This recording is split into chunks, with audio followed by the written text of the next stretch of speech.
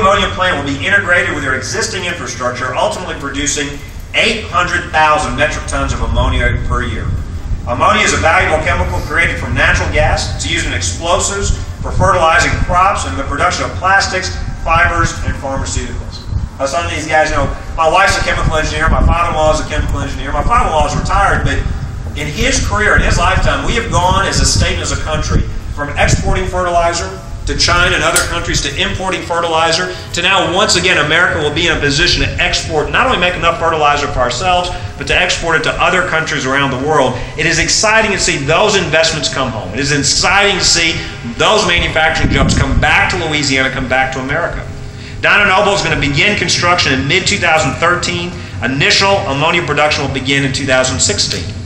We're uniquely positioned to provide major supplies of natural gas to important energy and chemical manufacturers. More and more companies like Dyno Nobel and Cornerstone are taking notice, investing right here in Louisiana.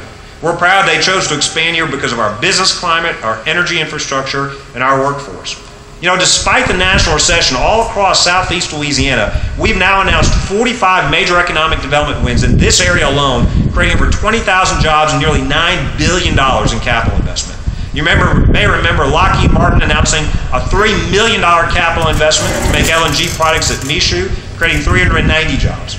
South Louisiana Methanol, $1.3 billion investment, creating 400 jobs. Mosaic Company, front end engineering design work for a $700 million project, 400 new jobs. Smoothie King announcing they're expanding their global headquarters in Jefferson Parish, 60 new jobs, paying on an average $75,000 a year, 78 indirect jobs, and keeping another 45 jobs. The bottom line is there are only a handful of states creating jobs in this national recession. We're one of only a handful of states that has more jobs than the beginning of the recession. We're a top 10 state for private sector job growth since 2008. Per capita income has gone up by more than $3,600 in the last four years. Our ranking has jumped 16 spots since 2000. We're now at our highest ranking in 80 years. But here's my favorite statistic.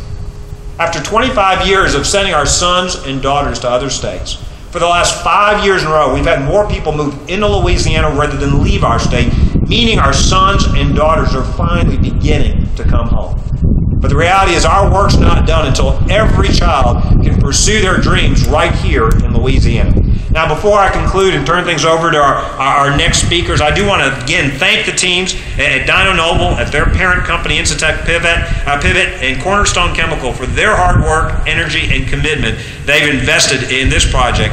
I also want to thank our local partners. We wouldn't be here without the leadership in Jefferson Parish and JEDCO. This was truly a public private partnership and a state local partnership.